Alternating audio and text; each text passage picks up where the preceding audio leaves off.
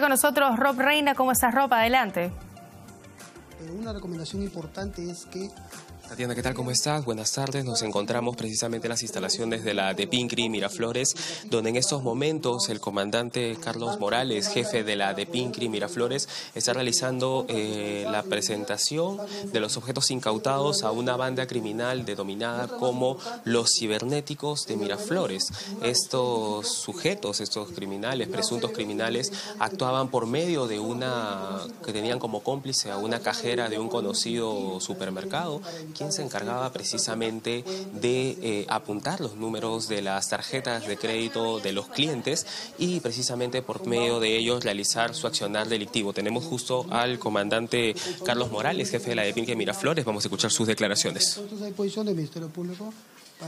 ¿Cómo la mafia captaba a posibles clientes que necesitaran eh, que se les realizaran pagos? Señala uno de ellos, en este caso Daniel Zapata, ¿no? al ser interrogado, confiesa de que ellos a través de aplicativos buscaban clientes que querían sufragar sus, pagar sus deudas pendientes. ¿no? Y obviamente a cambio de ello daban una cantidad de dinero mínima, un porcentaje. ¿no? para RPP Noticias, por favor, cuéntenos acerca del proceder de esta organización delictiva Los Cibernéticos de Miraflores.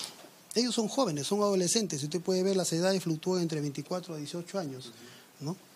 Y principalmente ellos estaban además asociados con una cajera de un supermercado, que era la que apuntaba los números de tarjeta de crédito. Exactamente. Ella era la encargada dentro de esta banda criminal.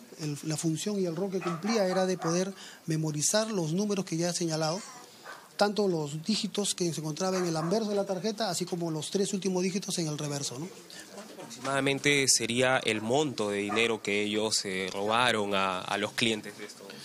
Eh, se encuentra en un proceso investigatorio a fin de determinar el monto de los tantos agraviados que tenemos en esta localidad de Miraflores San Isidro.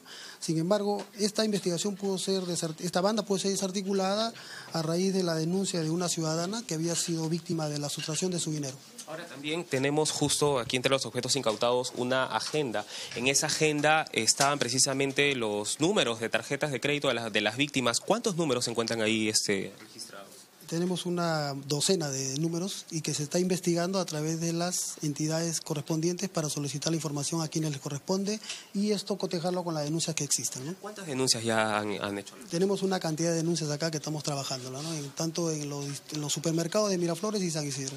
Y bueno, principalmente, comandante, ¿cuál es un poco la, recomendación para el público para que no sean víctimas precisamente de este tipo de organizaciones criminales que utilizan el proceder de la tecnología para poder hurtar dinero? Claro, una recomendación general es no perder la visión de su tarjeta al momento de entregarla a los cajeros, toda vez que estos aprovechan un descuido para memorizar los dígitos.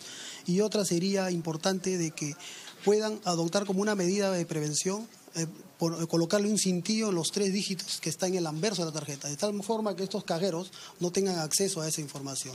Y cuando uno quiere hacer su pago en línea, obviamente saca el cintillo, hace el pago y lo coloca nuevamente. ¿no? Es la única recomendación que podemos dar. Muchísimas gracias, comandante. Precisamente declaraciones del comandante Carlos Morales, jefe de la de Pincri de Miraflores, con información acerca de esa organización delictiva, los cibernéticos de Miraflores. Vuelvo contigo.